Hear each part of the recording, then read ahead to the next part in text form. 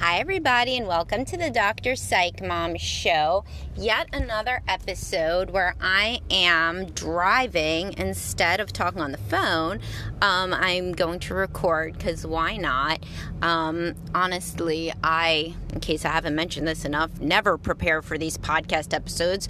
Hopefully, that is not um, discernible to the uh, average listener that I have zero notes and zero preparation. So it's not the sort of thing where I'm fumbling over my notes because I have no notes. So that is kids the benefit of not preparing.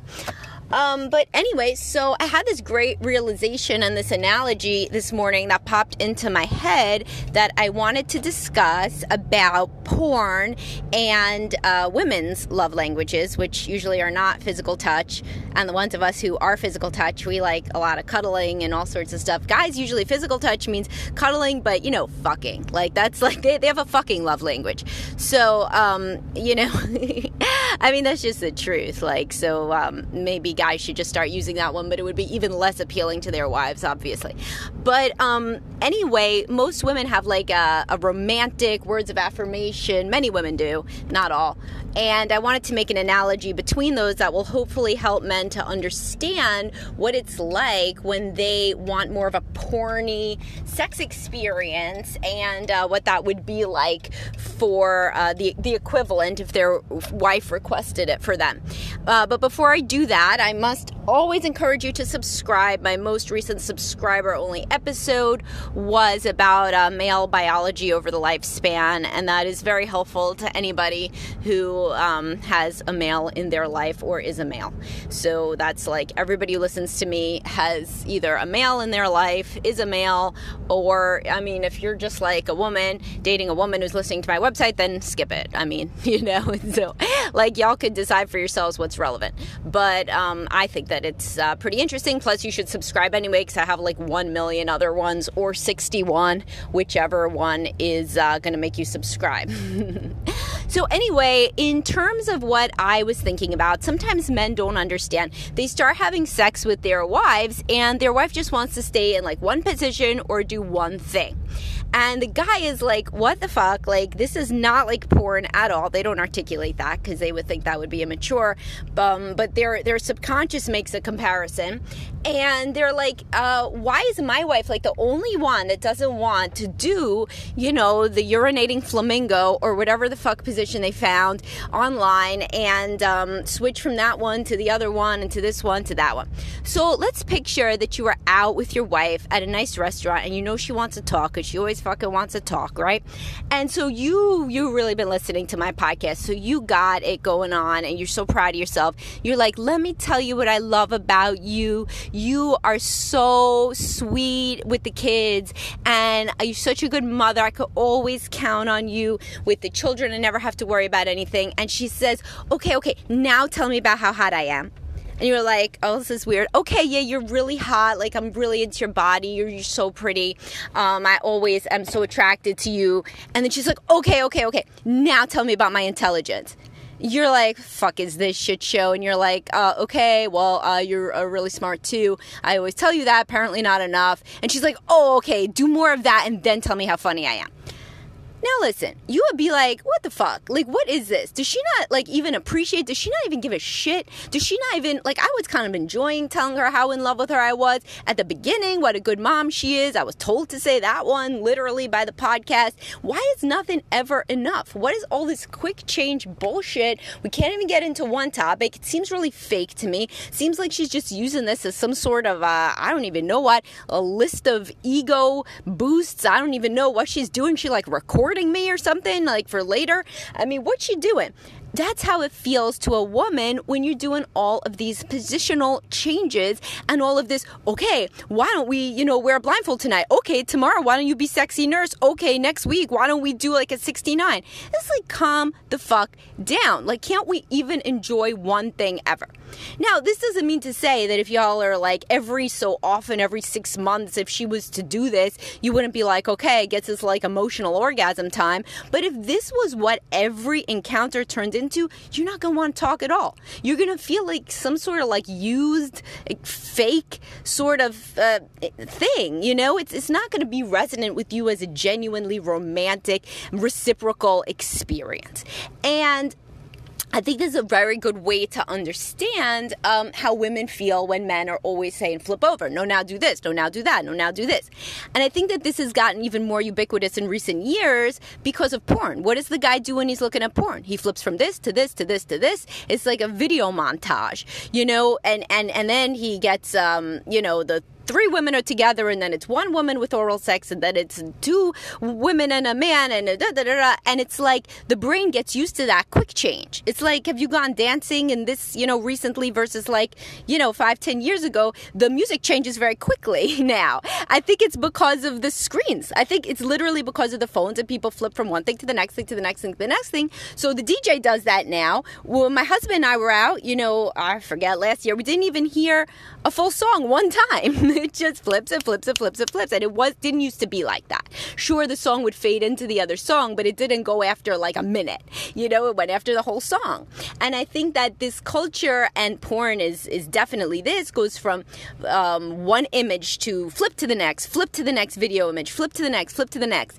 And uh, guys really um, get used to this, and then they want to replicate it. So it isn't just exploring that the woman doesn't want to do; it's this quick change thing. And of course, a woman can't have an orgasm when she's flipping from position to position or from, you know, uh, one sort of thing to the next. So, as always, what I feel is that women are misunderstood as not having their full sexual potential because of the circumstances that they find themselves in. And this is not guys' fault. Guys and women operate so differently. To men, it is the way you got to think about it is like the mental piece. Every see, here's another thing where I feel like uh, media does us wrong. So you always hear that for women, the mental component is very big that is completely true, but there's there they, really it's very different than how the mental component works for men. Because men think okay mental component is very big for me too. So like for example if it like my my analogy always if you're a straight guy you know getting a blowjob from a man is not going to be as good or even really something that you want at all. But i mean it could be a good blowjob but you don't care because in the mental component you're attracted to women. So just closing your eyes during a blowjob by a dude is not going to do it for most heterosexual men um, there are some who would be fine, but not the average Joe. And um, it, it, it's the, it's the same thing. So for men, um, there is a big mental piece as well, and a lot of their mental piece comes from two things. It comes from thinking that the woman is excited and novelty. So yes, the penis is going into the same vagina, doesn't feel much different, but seeing the woman in different positions, seeing her body, hearing her talk, any of these other stimuli are obviously mental. They're not just physical. Again, the penis is being stimulated in much the same way, but there is a lot of mental components. So then men think that they understand women. They're like, shit, I'm mental too. But what we mean by mental with women is very different. What it means is that she has to have some sort of fantasy life going on, usually, that is the context upon which the physical sensations have to happen. But for a man, let's say he could be having, quote, boring missionary style sex that if it was so boring and she just laid there like a dead thing, it could take him 20 minutes to finish or he couldn't finish at all in terms of intercourse. Whereas could be the same exact position, but if the woman was saying a lot of exciting, stimulating things, he would come in 30 seconds, right? So that is not how women work. That's not how women work. Very, very few women um, can have something that is not very physically stimulating change into something that is physically stimulating by the uh, mental context. That that is hard. So if you are going down on your wife poorly, she she could have a real active fantasy life going. A, a, a woman who's good at having an orgasm may still be able to eke one out, but you being technically proficient will make her have the you know five minute or 10 minute length of time orgasm not that the orgasm goes on for long, I mean until the orgasm happens, five or 10 minutes or even 10 or 15 minutes, versus if you're bad at it, you could go on for 30 minutes. You could be, you know, uh, she, she could be doing virtual reality that you're Ryan Gosling, and it still isn't to matter if you're really shit at going down on her. So women are much more responsive to the physical, technical stimulation in order to have an orgasm. Men can be, you know, a fucking uh, cantaloupe, and if there's some hot woman in front of him doing a striptease, he, he can come very quickly. A woman is not the same sort of thing. So for women, the mental piece comes when they have this active fantasy life that's going on to make them even more orgasmic. But technical skill is necessary but not sufficient. For men, if they're getting some sort of expert blowjob, like, you know, it, it, it's that's great, you know, but let's say it was an expert blowjob by like a woman who they knew wasn't really into it versus um, a not so great blowjob, but oh, the woman was so hot, she's like a supermodel that's dying to be with them. There's going to be a lot more, honestly, um, responsivity to the uh, woman who is so hot, dying to be with them in most cases. Although not all. There's men that don't really like. Um, intimacy, honestly. So they would prefer to get an expert blowjob by a hooker, you know. Um, but but e- either way, these are things on the margins. The point being that men and women they uh, are very different. If this podcast doesn't make you know, this entire podcast, not just this episode, doesn't make that clear by now, then you've not been listening. So sexually, men and women are very different. For a woman, the idea of novelty, it's it's okay, but it's not good if it detracts from her physical experience. So the physical experience takes a while to mount. Women are very particular in their physical needs, more so than the average man. They have less testosterone, they have more of a hump to get over, no pun intended, before they get to feeling orgasmic than the average guy. Now, there are ways to get to do all of your positions, but you can't forget that the woman is a is a person with specific needs and her need is to fucking enjoy herself the same as your need is. So, therefore, what might you do so that you could do all of your positions is you can make sure that the woman enjoys herself first and then you can do all of your positions afterwards. so, that's one sort of thing that people try is that you do whatever you do that reliably gets the woman off, and then before you come, you do all of your different positions. Some guys are so turned on by going down on the woman or getting the woman off that they can then no longer do their positions. So listen, well, what are you complaining about? You're already so excited. This is a good thing. This is a good thing to be very excited by your partner. So, uh, what you cannot do is say, well, here's the thing making my wife excited gets me too excited. So, I want to have the experience that I see in porn, and I want to do eight positions, and I want to be, you know, pumping into her for 20, 30 minutes straight at least, because that is what I think a real man does, or that's what I, sounds fun. And so, what we're going to do though, she can't be too excited at the beginning because, you know, she can't be actually excited because then I get too excited. And so what we have to do is we have to have no foreplay. And so what we're going to do is instead we're going to do eight positions from the beginning and um and and that's how we're going to roll so that I can get my full experience. If she does this with you, you might as well be doing it with a real doll, honestly. Like if, if she's not into it, she's not going to be into it. And you can work on using the start stop method for premature ejaculation, which you can Google. I mean, it's what it sounds like. You can train yourself to be, you know, longer lasting.